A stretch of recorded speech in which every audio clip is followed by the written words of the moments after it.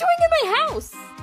That's none of your concern, Missy. Now come inside. I saw what you two did, and you're grounded. Stop ruining my life, Dad. God. Now You're not the here. boss of me. You Sometimes I wish I'd never been born. Why do you Wait, keep interfering